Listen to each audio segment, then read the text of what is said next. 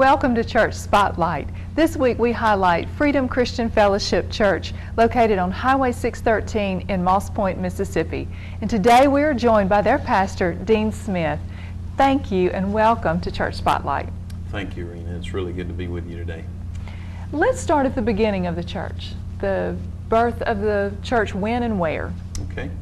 Uh, the church originally was founded about uh, eight to nine years ago by a pastor who was bivocational. He was in the military. His name's Derek Boring. And uh, a small group of people began meeting in a home and eventually organized as a church. Um, he was transferred uh, because of his uh, work, and I came on board with the church about five years ago. Wow. So, fairly new church, eight to nine years old, and you've been here five years. So, tell me what you walked into. Well, I, it's been a small congregation, probably about 30 people when I came on board. And we began doing some foundational things initially, and we're really laying that foundation to be able to build on that. And then Katrina hit. And because of that, we lost the building that we were meeting in. Uh, for about nine months, we floundered around with a meeting place because everything was taken. Right. You know, uh, we met in a dance studio. We met in uh, in a, a community center. We met in homes at some times, and uh, the Lord led us to buy this building where we are. We converted it into a church building, and uh, nine months after the storm, the back was complete, so we began meeting back there. And it wasn't until about a year and a half later that the rest of the building was completed and we were able to move into the sanctuary. You know. Sounds like a tenacious group of people. We've had a lot of people who've invested a lot, and uh, not only time, money, but just themselves, you know. Right. And they've been a blessing. Not Right. only people in the church, but outside the church as well. Well, Katrina was such a um, landmark Mhm. to Gulf, the Gulf Coast, and not only were places of business businesses affected, but people's homes were Mhm. affected. So, you know, the lives of your congregation were probably also in turmoil, and the fact that they would continue to Right. work and be diligent to find a place to worship speaks a lot of the congregation. And it did. You know, it all it changed all of our lives. But I think that one thing that it did for the community of Christ is that it really solidified our need to be the body of Christ and worship together and depend on each other. Right, right. Did you have any outside help with the facility? We did. We would not be here today, I don't think, had we not had outside help. We had, like so many stories go, we had people from Canada, uh, Hawaii, uh, all over the United States to come and help. And really, one thing that blessed me was at that time, denomination wasn't really important. Um, True. Nobody cared about the dom- denominational barriers, and it was a good time, you know, even though it was difficult. Right, right. Well, you can look around at your beautiful sanctuary and see where God's brought you. Yeah, he has, and we're we're in constant gratitude to him for this. Uh, the building is not the church, but it's good to have a place for the church to meet. Sure. And I think Katrina, even though it displaced so much, it also um, lets you know where you belong. You know, um, because of losing things, stuff, locations, you know, things like that. You know, you still to have a place of belonging and to have a beautiful sanctuary to come. I think that's Yeah. that's important. In those times of desperation and difficulty and hardship, they really solidify some things in us. They help. They call us back to what's really important, and um, I think we see the best of people in those situations, which we did, and um, it's always good to be able to have that as a marker to be able to fall back on. You know? Sure, sure. So, what is the congregation like now? Um, our church is, I think, different than most churches. Uh, this church was founded, the, the founding pastor, Pastor Boring, had a heart to reach people that wouldn't fit in most churches. Maybe they had been through some very difficult things in their life and just a lot of dysfunction, maybe. And it was a good fit when I came because that's my heart too. And our church, the congregation is basically people who have been unchurched, maybe they've been hurt by the church, maybe they don't fit in, you know, the traditional church. Right. And we, we fight really hard to uh, be non-traditional, not departing, of course, from the Word of God and from, you know, the truth. But there's a lot of baggage that a lot of times the traditional church has that uh, we try, we, we fight not to have that so that people can come and meet God without having all the encumbrances get in the way. Where they're just simply welcome. And feel loved. Right, right. And they f- have a sense of belonging. And acceptance. People need to know they're accepted. Um, so often we, we're not good like God at differentiating between the outward appearance and the inward heart. And um, so many people have been judged for the outward appearance. Um, I hope that this place is a place that people can, uh, can be seen for their heart. If you could sum up in one sentence your body of believers here, what would it be? We're here for the hurting, for those that have been wounded in life, for those who really just struggle in different aspects of their life. One of the key verses that we focus on a lot of times is the verse in Proverbs where it says that the spirit of a man will sustain him in sickness, but who can bear a wounded spirit? And there are many people who have wounded spirits. It goes deeper than physical, and many times even deeper than emotional. The core of their being has been wounded. Uh-huh. And we focus on helping a person heal in their woundedness. A place for healing. I love that.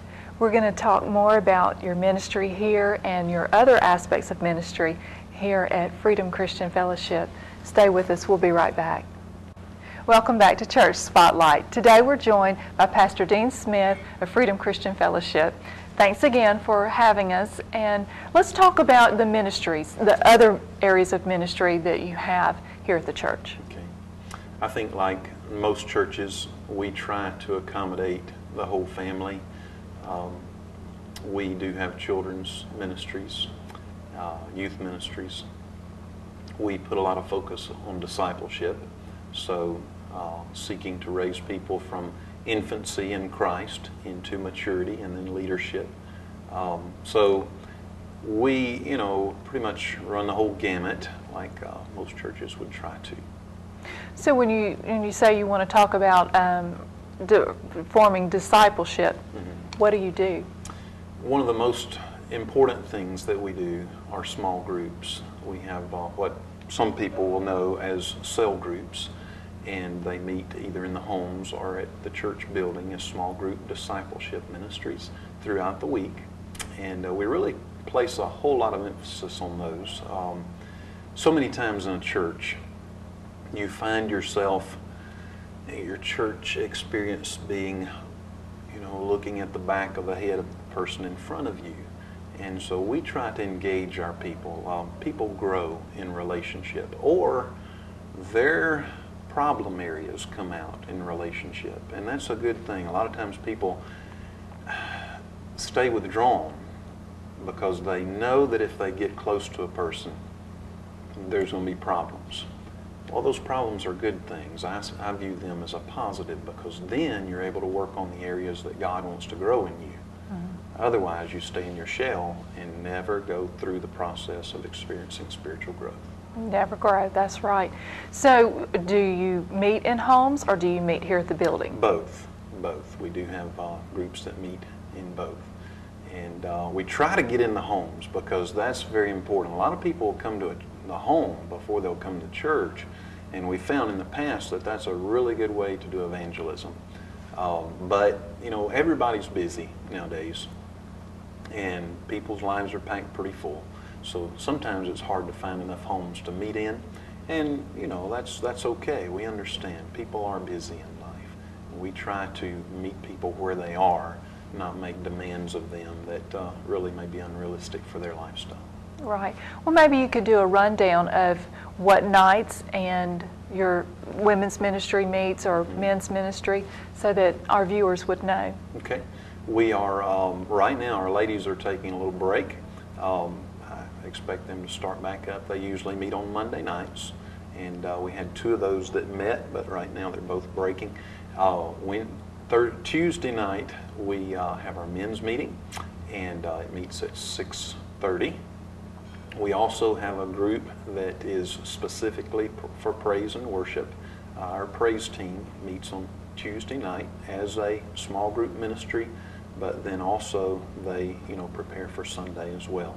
Then on Wednesday night, our youth meet as a small group, a cell group. Uh, we do have our church service on Wednesday night with an intercessory prayer time starting at 6 o'clock and then our service at 7 o'clock. Um, then we have a leadership cell group that meets on Thursday nights at uh, 6 o'clock, and that's for those that really want to go further in their relationship with God and uh, be willing to take care of issues maybe that may keep them from being utilized in ministry. Do you have youth leaders? We do. We have, uh, the man's name is Bob Woods. He is one of our elders here at the church and uh, wonderful man of God. Heart, just a tremendous heart for God and passionate. And he loves the youth and is doing a wonderful job with them. Kind of a prerequisite that they love youth. Yeah, well, certainly. But he's, uh, he's got a lot of wisdom and is very grounded, so he's got some good things to sow into our kids. That's great. How about Sunday morning? Do you, is that when the children's church meets? It is. Um, we do not have Sunday school. We really opt for the small groups rather than Sunday school. The children would get their Sunday school during our worship service. They stay in here for the praise and worship and then go into the back to children's church. Our service starts at 10 o'clock. We have a discipleship class that meets at uh, 9 o'clock on Sunday mornings. I like that the children stay in for worship.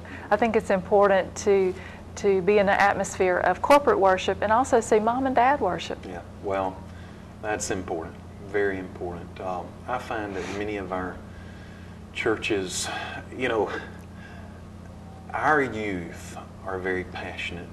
They have a lot of energy. Church, many times to them, is the boring, the most boring time of the week. I think we, as maybe a little older adult generation, we need to work hard to make church a place where the young people, the children enjoy being a part And of it's what God's exciting. doing. Right, right. Allow them to express who they are Right. instead of learning to sit like we do and fall asleep during the service, you know? Right, right. Um, they, they have so much passion, and let's allow them to express that. Sure. And find ways to encourage that. Sure. So your congregation right now, what your um, outreaches are, and you know, which are many, this the sale. But tell me the, um, I guess maybe the the study that y'all are doing, the the work that God is doing right now Mm. in the body. It's going to take a little while, so, but uh, the Lord has really changed our whole direction. We, because we minister to so many hurting people, we found that a lot of times the traditional approach isn't very effective, and I'm not sure how effective the traditional church is to begin with, or traditional approach is to begin with. Um, there's a song that says, All is vain unless the uh, Spirit of the Holy One comes down. And unless we have the presence of God, we're going to go through a rote experience of religious activity that may cause some soothing to our conscience to say that we've been a part of a worship on Sunday morning, but we'll leave unchanged. And so we are right now focused on the presence of the Lord. It really doesn't matter if we gather if the Lord's not with us, you know. It's true. And there's some there's a verse of scripture to back that up. Uh, the church of Laodicea, known as the lukewarm church, that verse in that says that Jesus stands at the door and knocks, and if anyone will open the door, he'll come in and sup with him. Well, we use that in witnessing to people, but Jesus is writing that to the church. There are many churches, he's on the outside of the door, wanting to come in. And I think that that typifies many times our worship while we're gathering for a good purpose, are we really gathering in the presence of the Lord Jesus Christ? Allowing Him to do what He wants to do. Yeah. And making sure that not only is the body welcome, but He is welcome. Exactly. Number one, that He is welcome. That's right. We're going to continue our conversation with Pastor Dean in the presence of God and the importance of that when we continue. Welcome back to Church Spotlight.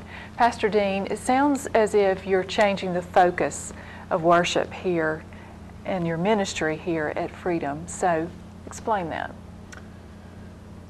I believe that things are going to change here. Um, we've we've encountered sometimes, and really, I would say frustration because we've wanted to see people's lives changed, and a lot of the times we are dealing with people who've been very wounded and need a lot of help in their life. And I've come to the place that I realize that there's no substitute for the presence of God. David said that he'd rather spend one day in the presence of God than, you know, A thousand elsewhere. Thank you. Um, and I believe that when we experience the presence of God, things change, lives change. It's inevitable. It has to. And a lot of times, we in church life, I think, do experience a lot of wasted time in our worship, in our church activities, because we're not really encouraging the tangible presence of God. Just going through the motions. We are. You know, Jesus said, Blessed are those who hunger and thirst after righteousness. And the psalmist said that as a, a deer pants after the water brook, so my soul pants after you. And there should be a hunger in us to meet with God. You know, a lot of times we come to worship, but do we really have a desire mm-hmm. to experience God? Do we really have a hunger? I, uh, years ago, I was an associate pastor at a church, and I was just going through a difficult time in my life. And uh, I went to another minister and talked to him. And he said something to me that took me years to get a hold of and understand what it meant. He simply said, and then he walked away after he said it and left me hanging there. but he said, Dean, you've been eating junk food rather than the real food. And what that meant to me over a period of time, we all have a God made void. As Augustine said, they can only be filled by God. But very often we try to fill it with other things. And that's what I had done. I had really allowed some things in my life that had taken the place of God. And it was junk food. And I think that a lot of times when we gather for worship, our people are so full of their own thing that we can't even have room for God. There have been times when I've been really hungry in my life, and at those times it didn't matter what I ate, whether it was a peanut butter and jelly sandwich or whether it was a steak, it still tasted really good, right? True. If a person's hungry, they're going to enjoy what they eat. A lot of times we come to church and we're not hungry. But on the other hand, if a person is full, it doesn't matter what you set before them. It doesn't look enticing to them. And could it be that many times we in our churches, we come to church full. And it doesn't matter how good the praise and worship is. It doesn't matter how good the message is. It really doesn't speak to us because we are full of the wrong thing. Right, of other things. Right. So we're really taking things back to the basics, and that is to encourage and expect and put a demand on the presence of God in our midst. Well, that's when true healing, true change begins. That's right. That's right. And that's what we need, isn't it? Our world is in uh, sad shape. Yes. And many people who are looking for something real, they don't seem like they, in their perspective, find it in the church.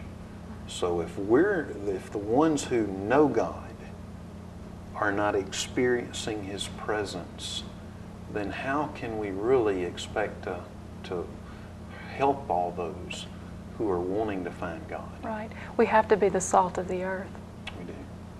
And there's more, of course, than just praying a prayer and uh, putting your name on a church roll. We can experience God. I read in the Bible over and over and over again where people who really got desperate had an encounter with God. And I would hope that we in the Christian community could reach a point of desperation for God without having to go through circumstances that make us desperate. Maybe we could just get hungry for God. Maybe we could realize that there's more in this life that we've not yet tapped into in relationship with our relationship with God. Right. Maybe if we could learn more in the classroom and not on a field trip, because usually a field trip is painful. You know, when you have to learn through the hard way, um, through life, whatever, you know. That's right. That's right.